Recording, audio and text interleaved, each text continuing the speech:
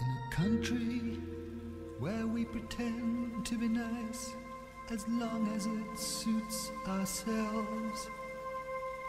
In a country where we just pour scorn on those who need our help. In a country where so many people are happy to achieve so little. In a country where so many belittle those happy to achieve. In a corridor where diplomacy is the way of not making decisions. In a corridor where decisions are only made to hold more pointless talks. In a stadium where we just laugh as others melt into flames.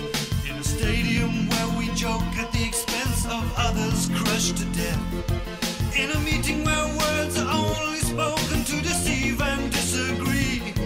In a meeting where all agree only when there's nothing to be done.